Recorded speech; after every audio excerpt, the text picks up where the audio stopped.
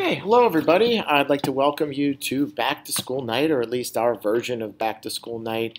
Uh, I'm Mr. Price, and this presentation is for ninth grade American Studies. Um, I would certainly much rather be talking to you guys all face to face, but I'll do my best to share a few things about the course, and I also wanted to make sure that you understood that anytime you need to call, talk, um, give the school call, I will call you back. Um, we can also correspond through email as well. So again, I'm Mr. Price. This is ninth grade American Studies. I want to talk a little bit about the class. I'm going to keep the Google Meet window up, and then I'll pull up a couple things. One is the a couple of the things that I want to cover tonight, and also the course syllabus. So this is sort of my welcome page. Um, and uh, again, thanks a lot for showing up and uh, checking out the video. Um, I'll take you through the syllabus probably talk a little bit about resources, some reminders about the Schoology page, talk a little bit about reading, writing, speaking, and critical thinking that's part of the course, um, tests and test taking, kind of how that works, options, things like that, and then trivia and extra credit if we have time at the end. So what I'm going to do, I'll pull up, this is the course syllabus for ninth grade American Studies. So um, this is uh, American Studies. We pick it up around 1900. Um, our first chapter, and I'll talk about that, picks it up generally around 1900, and we try to get as close to present day as we can.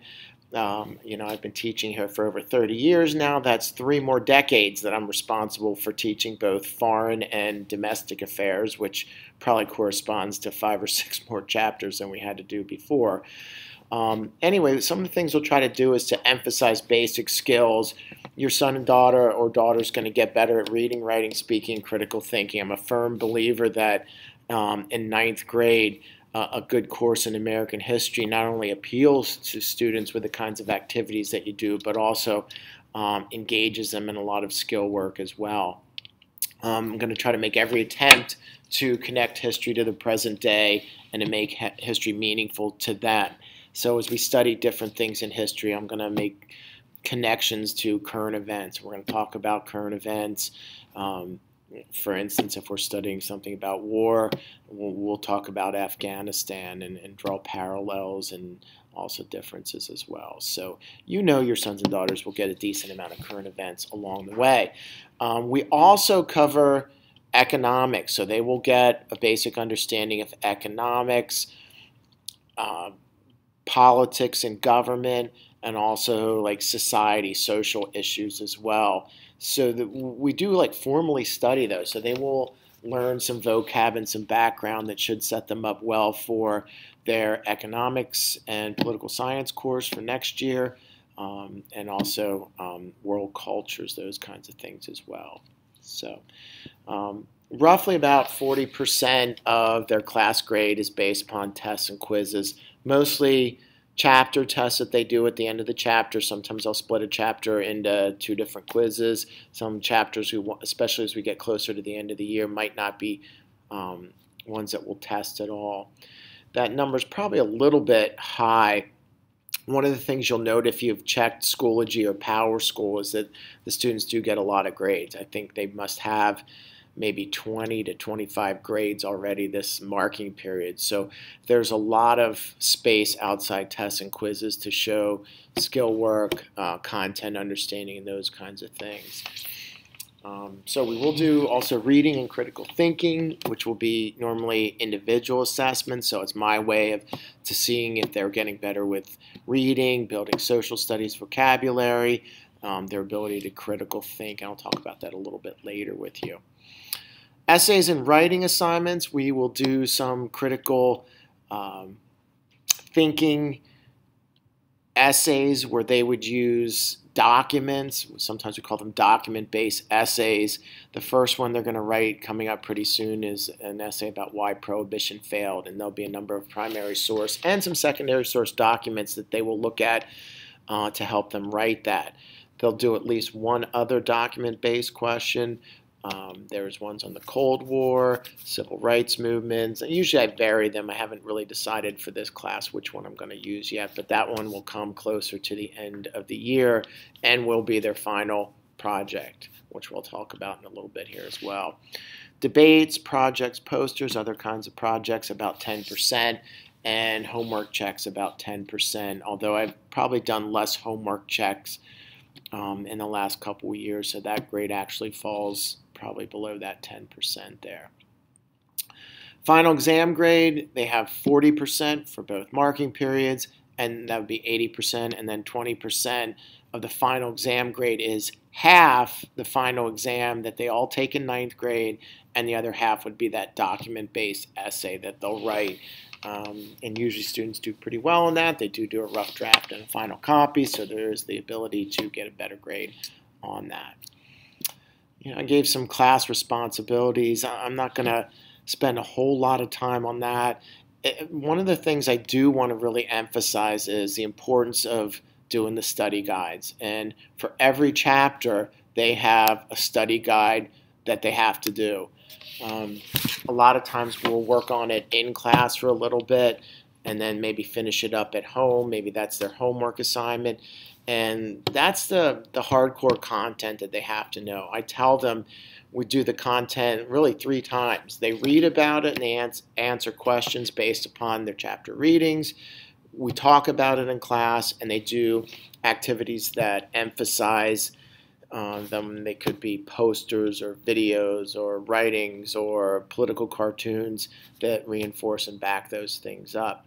Uh, I oftentimes tell them, and I'm going to tell you as well, that if they know the things that are on the study guide and the review sheet, they should be in really good shape. And I do spend time reviewing. We normally do a game of Kahoot. We do some games of Pictionary. We do some practice matching questions. And there's also usually an online Quizlet that has all the terms and the people that they have to know for the test. So anytime you want, you should be able to say, well, what chapter are you on? Pull out your study guide. Um, how far are you?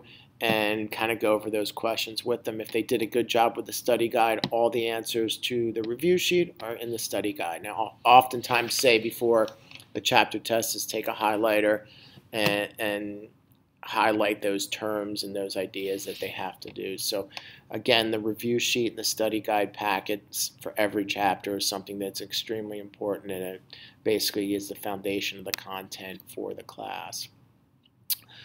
Um, a couple things about the Schoology page. I think most of you are signed up and have access to that. Normally, what I'll do is I will put uh, a lesson plan for that day, and then following that lesson plan for the day will be like the links or the different activities that they need um, to do in class.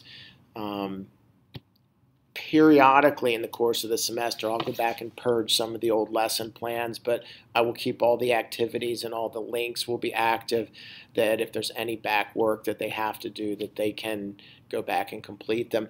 Um, I don't give zeros for, for late work. At any point, they can do an assignment. Um, obviously, sometimes it doesn't help as much on tests when you're doing them after the test was over, but I give full credit for back work that is completed. So if you see a zero, that just means, hey, this is what your grade looks like um, if you're not going to complete and do that work. But um, students can do reasonably well, even if they're not great on tests, uh, by do, completing all the work along the way. So that's kind of the Schoology page. Again, look for the Quizlet items. Um, usually the review sheets are posted as well, and they're just listed in a string, and you can find them pretty easily under the individual lesson plans for the day. Um, let's see what else here. Yeah, they have to read pretty much. They have to write pretty much. They're going to get uh, a number of opportunities to speak and lots of emphasis on critical thinking. We read a number of primary sources, which are firsthand accounts. We spend a lot of time talking about point of view and inferences and bias and things like that in the readings that they do. That includes both primary sources and nonfiction resources as well. Um, and most of those resources, both primary and nonfiction, are either in print that they get or it's also on Schoology sometimes, and you'll see a number of those, and you can always check those out. Uh, let's see, I think maybe that's about it. We mentioned a little bit about uh, the writing. There will be some expository writing. Sometimes they'll do a paragraph. Sometimes the writing will be on a, on a test. Sometimes they have essay parts of the test that they have to do. We've had one so far in our Chapter 6 test. Um, and, and, even some creative writing. We'll do some on like the Great Depression and a couple other topics throughout the year. Uh, love to use political cartoons as a way to review content. They're also kind of interesting and they have to work with like symbols and point of view again, um, which I think is pretty important. Um, again, tests come at the end of the chapter that we do. Currently, we have done chapter 5, which is the progressive era. We did that in two quizzes. We did chapter 6, which was about imperialism with the United States and the world and we just had our World War I test, and we are into the 1920s. So, again, my recommendation for tests is practice, practice, practice with the review sheet, with the Quizlet. Um, and I tell them too, things are a little bit different this year. I know COVID probably reduced teachers' expectations a little bit for content leading to this point. And ninth grade American Studies is a bit of a jump for some kids as it is. it, it is a real eye opener for some um, and it, it, depends a little bit on like who they had and and and that sort of thing. But ninth grade, they they have to put some things together, and I tell them it's no longer do you get a ten term review sheet where you just have to quick memorize those 10 terms and you do well. Um, it's tough to just memorize things. We're looking for understanding and being able to use some of the content as well.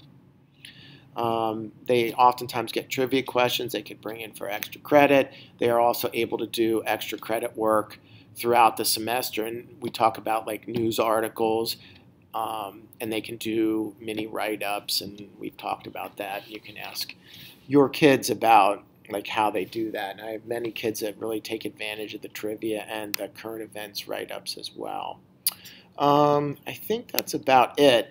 Um, just a quick reminder, and I already closed up my syllabus window, but so uh, after chapter seven, content wise, we get to chapter eight, which we're working on with the 1920s.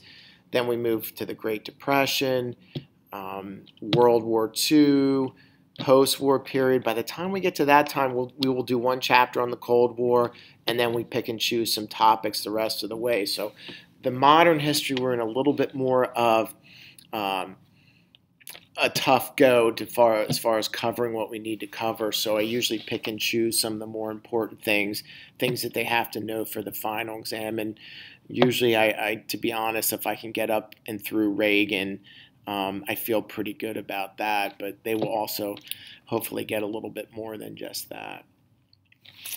So I, I do want to reiterate again, if you have any questions, please do not hesitate to give a call, give an email touch base, and uh, I'm really looking forward to uh, a good semester. Both my ninth grade American Studies, my second block, and my fourth block, really enjoying them so far. Um, a lot of real sharp kids in both classes, and also some kids that, that struggle. Um, and, and, I'm going to be maybe contacting some parents a little bit about, especially about test scores. It, it, hasn't been so much about not doing the work, but working on tests. So, hey, um, thanks again for joining tonight. I hope you have a great night and take care. And again, reach out if you need to, and I'll try to keep in contact with you as well. Thank you. Take care. Bye bye.